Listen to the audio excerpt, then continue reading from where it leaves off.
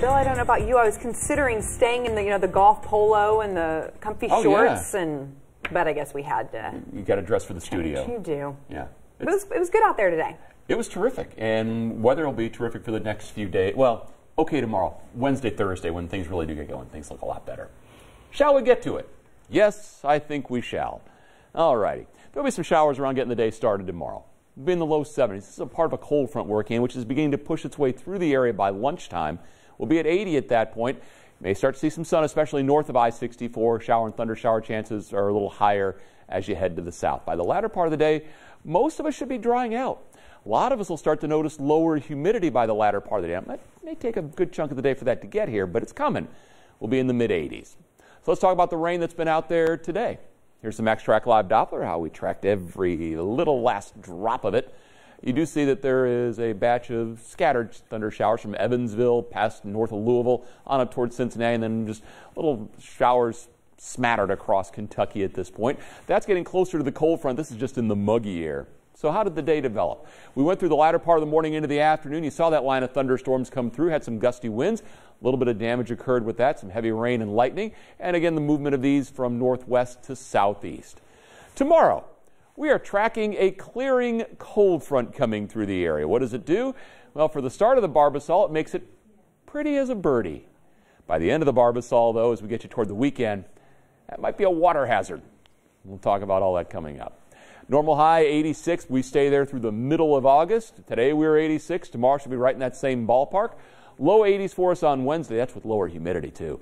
For Friday, or excuse me, Thursday, we're in the mid 80s, mid 80s again on Friday. Clouds and cooler headed towards Saturday. 75. It is muggy out there. Dew point at 71. Two thirds of an inch of rain today.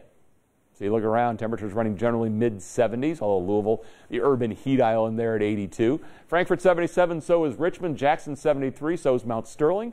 Somerset comes in at 75. When you're looking at the moisture in the air, that's the dew point. When these numbers are in the 70s, it feels tropical. That's how we feel right now. It is sticky outside. Watch what happens tomorrow. We start you off, and it's good and muggy outside with those dews hanging around 70 watch what happens during the day. Now, you're seeing these numbers decreasing to the north, pushing the moisture to the south. It may be a little quick on the timing, but you get the idea here that it's going to be drying out, and that's what will lead us into the latter part of the week.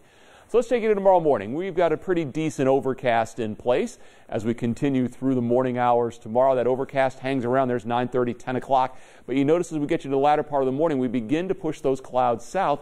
More clearing begins to show up and the day will be improving. Although southern Kentucky, it may take most of the day to get there.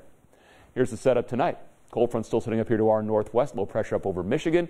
That front continues pressing southward tonight. By tomorrow morning, it's trying to cross the area. As it does so, doesn't completely clear, so we'll keep a chance of showers around into the latter part of the day again, especially to the south. But as we continue into Wednesday, big Canadian high builds in. It dries our air out. We do stay warm.